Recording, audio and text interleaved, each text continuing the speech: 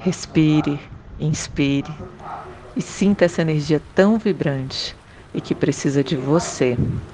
Venha descobrir essa beleza única, uma beleza amazônica, uma riqueza brasileira.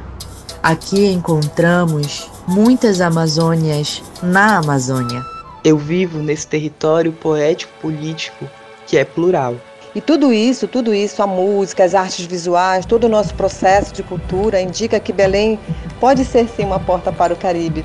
No meio disso tudo, mostrar para o mundo o poderio da nossa musicalidade. A Amazônia também é rica na música. Algo que me faz sentir viva, como essa imensidão de floresta, é poder contemplar o silêncio cheio de cantos e assovios sobre as árvores gigantes e imponentes. Eu vivo a Amazônia de forma harmônica e respeitosa. Acredito nas pessoas e no poder de suas relações. Vivo e sinto essa Amazônia quando fecho meus olhos. Vejo um rio de ouro, rio de pretos e indígenas, meus ancestrais, que nas margens desse rio, o rio Gurupi, construíram quilombos que resistem desde o período da invasão colonial.